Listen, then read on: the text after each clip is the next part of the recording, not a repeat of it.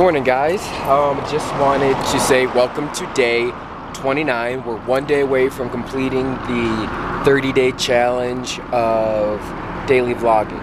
And so, just kind of clean the car real quick. And so, I just wanted to kind of show you guys our parking lot before I went in. This is absolutely ridiculous. So, we've got a Porsche, we've got two Porsches, a 911 Targa, well, a 911 convertible, a Boxster, and then that little thing right there is nothing special, just a uh, Jetta. And there's our Passat. But then at the end is our Bentley. So check this out. It's like, yeah, that thing is ridiculous. So guys, yeah, I just wanted to say welcome to day 29. All right, I'll talk to you guys later. This is also a quick shot of the inside of our garage right now. It's absolutely crazy. There's Porsches everywhere. Hey guys, I just finished up another day at Avalon. And yeah, what can you say? Just another day in the bags. So yeah, kind of what's been going on is what has been going on lately. Uh, I don't even remember. But yeah, so still on the search for a ZHP. Uh, one of the main things that I'm going to be working on and striving towards is being able to kind of plan out my days to where it's I'm not wasting any time to where I'm use, I'm utilizing my 24 hours in the most efficient way as possible. I remember talking to ET, well not talking to ET, but listening to a talk given by ET where he is, where he's pretty much saying that um, that like we like the difference between like Oprah, like Steve Jobs, like Shay Carl, and like all these other prominent figures in the world is that is that like they utilize their 24 hours better than the most of the than most of the average people out there. So that's going to be one of my goals for the rest of this year is to utilize my time in a manner that that is pushing me forward, that is pushing me towards something greater than what I currently have. Because like right now I'm 26 and like that's not old by any stretch of the imagination, but I'm also like, I'm not 24 anymore. And like I remember E.T. talking also about how like it was just in one of his mixtapes where um, I'll see if I can put it in right here.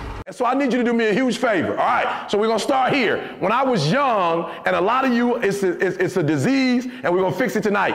When you're young, you got 14, you got 15, you got 16, you got 17, and what happens when you're young? Time is real slow. You like you can't wait when you're 15. Like my daughter's 14, just turned 14 in March, and I, you know, people ask her how old you. She said, I'm gonna be 15. I'm like, you just turned 14 in March. Like, I'm like, boo, let's do the math. Like, March 6th, you got April, you're not even in the May, and you already off in the 15.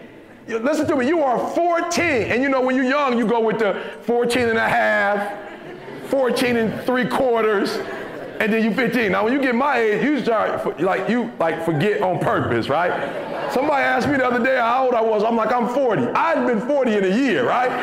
I'm still holding on. I'm like, I'm 40. And then while I was saying, I was like, you just lied. You're not 40, you're 41, right? And so when you're young, you got a lot of time and you feel like, you know, time is on my side. And I, I just want to encourage you, listen to me closely. When you turn 21, when I turned 21, I woke up the next day and I was 25. Like you young and you like, he tripping. What is he saying? I'm, if I had any adults that's my age, they know what I'm talking about. And then you go from 25, you wake up 30. And you didn't get like no birthdays, nothing happened. 25, like I'm being honest with you. Now look around at some grown folk, they doing like this. Yes, I know exactly what you're talking about. And so then you go 25, 30, and then you wake up and you like 40, and you like, what happened? My son's about to be a senior in high school. I'm tripping. I just had a little man.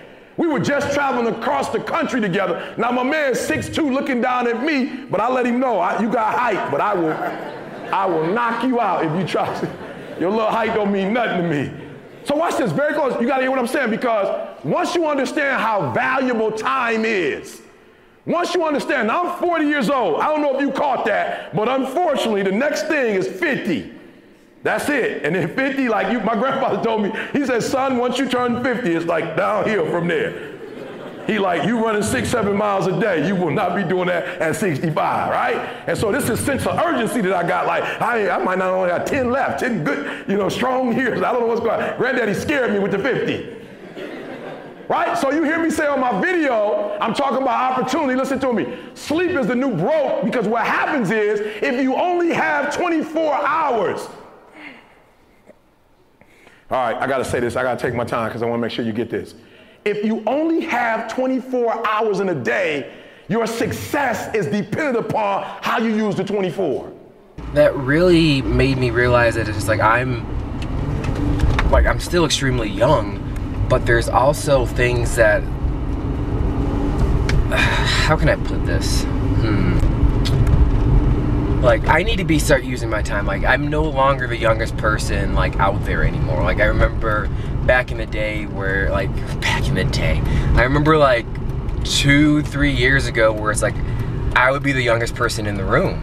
And like i was doing extremely well from a career standpoint from a financial standpoint and all these other standpoints. But like that's kind of changed. Like i've taken a big step back in my career. I am no longer the youngest one in the room now. There's people who are younger than me. Um, they're like it's just things have changed. And now it's like up to me to adapt to those changes and make the adjustments and not just kind of stick with stick stay where I am and what I've currently been doing. Like it's time to kind of crank it up.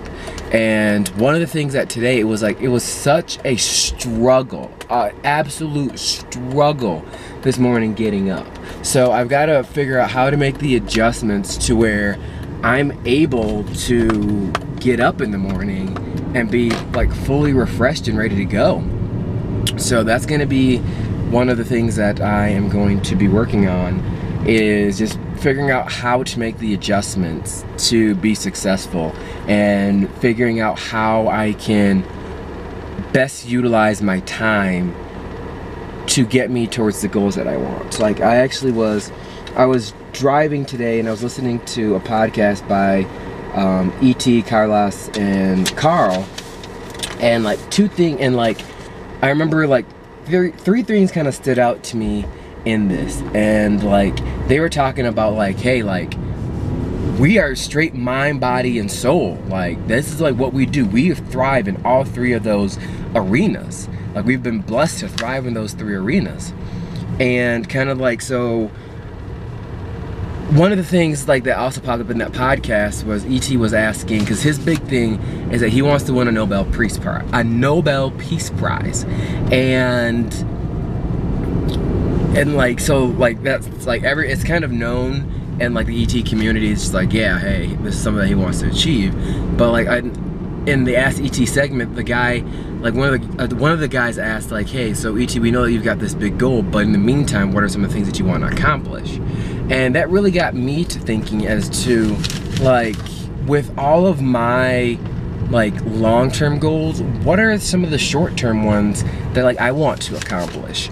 And there's three primary ones that like I that I want to hit before the end of 2007, the, the end of 2016. So I'm just gonna kind of like eloquent those to you guys right now. Um, I shouldn't say eloquent, like articulate. That's a better word. So the first one is um, I want to have a phenomenal friend group, um, and so that means like me getting into an environment where I can get help. Um, the second one is I by I've kind of like come to the decision that like by the end of 2016 like I want to join the Obsessed Garage team. Like I want to be like the number three guy on that team because it's just like number one is obviously Matt Mormon who started the company and then there's another guy who's kind of the CEO so that's running the day-to-day -day operations um, Joshua and like I want to be the third. I want to be like the third person who comes in there and just like helps them get to like that next level. That is something that like I truly truly want to do. As well as like it puts me into an environment like where like I'm doing something that I truly want to do. Like it's it gets me into more of a startup environment to where it's not just me doing like the day-to-day -day things like I don't have a set task it's it's in more of the the realm which is like, hey, you do, we do it, needs to be done, and like that's it. And like I really want to have a role like that. And then like the third thing is like I want to have a the, this is probably the most important one out of them all. Um, I want to have a relationship with God. Like I want to have a relationship with Dad, and to the point where like, and that for me that looks that really does look like having a daily conversation with him. And similar to the way that like like that king david did before he truly became king was just like before i step out and do anything like i consult god first. And so that way it's it's a god ordained thing versus like me asking god to bless something that I, i've that i've been working on something that like I as a man have been pushing towards. So yeah, those are the kind of the big three. Um, just to reiterate them, uh, having a phenomenal friend group, um, being the third guy to join Obsessed Garage, joining that phenomenal team of people, and then having a strong relationship with dad. Like those are my big three that I want to accomplish, that I'm going to accomplish this year. So yeah guys, um, I'm just gonna be driving home right now. As you can kind of see, I'm in a little bit of, eh, traffic's not bad. Um, yeah, traffic's not bad. It's only 617. So, um, yeah, I will talk to you guys tomorrow. I just wanted to thank you guys for checking out day, I believe this is day what?